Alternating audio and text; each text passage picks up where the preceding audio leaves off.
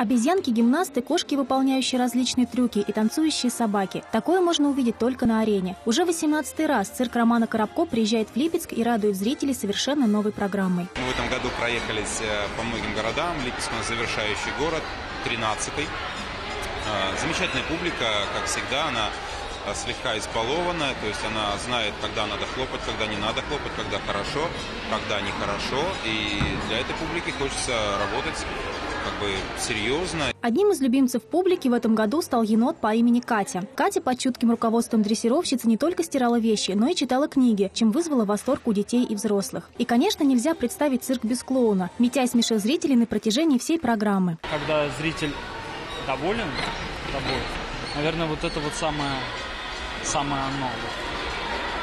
Вот это, это чувство, когда действительно это сделал, и людям понравилось, и не, не двоим, троим понравилось, а зал огромный, много людей, всем нравится. То есть это, это замечательно.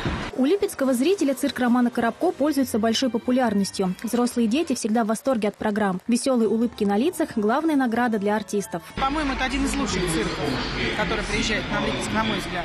Мы каждый год ходим. Мне больше всего понравилось выступление, выступление кошек и клоун. Очень веселый, задорный.